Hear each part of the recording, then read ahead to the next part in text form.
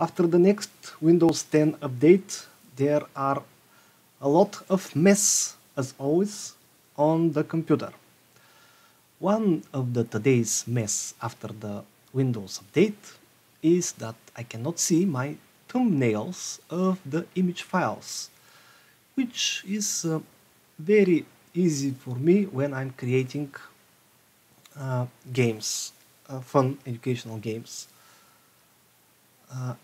And of course for other stuff. Okay, but uh, how do I fix that? I'm going uh, when I'm I open the Windows Explorer or File Explorer that is named now. I go to the view here at the top then I go to the right right while I reach the options button bottom and I got this window now I click the view tab and here the first thing that appear is always show icons never thumbnails. Why it is checked I don't know. The guys from Windows do. When before the update it wasn't checked.